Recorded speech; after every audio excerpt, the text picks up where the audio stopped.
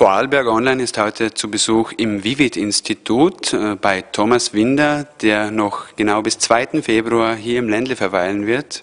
Sie sind Krebsforscher und fliegen nach Amerika, nach Los Angeles, um dort eineinhalb Jahre für die Krebsforschung tätig zu sein. Was hat Sie dazu bewegt, diesen Schritt zu machen? Ich bin mittlerweile seit ungefähr dreieinhalb Jahren äh, auf der Onkologie am LK Feldkirch tätig und in diesem Zusammenhang hin immer wieder gesehen, dass gewisse Patienten gut auf Krebstherapien ansprechen und gewisse Patienten weniger gut bis schlecht auf Therapien ansprechen. Und mich interessiert genau die Gruppe, die schlecht auf Therapien ansprechen.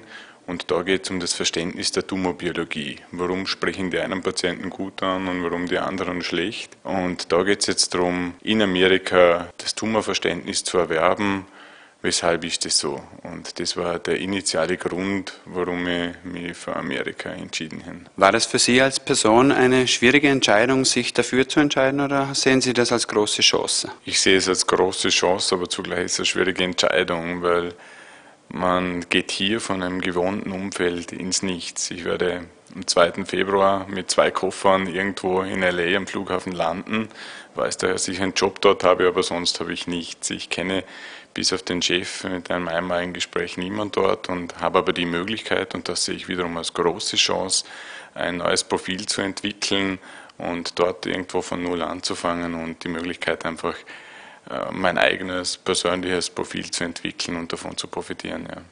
Also nicht nur das Wissenschaftliche, sondern sicher auch das Persönliche, angefangen vom Sprachlichen äh, über das, wie gehe ich mit einer solchen Situation um, irgendwo zu sein und dort nochmal von Null zu starten.